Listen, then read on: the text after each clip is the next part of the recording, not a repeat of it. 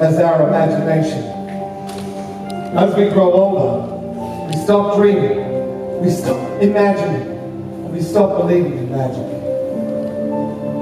I hope this next illusion inspires you all to dream again and to believe in magic.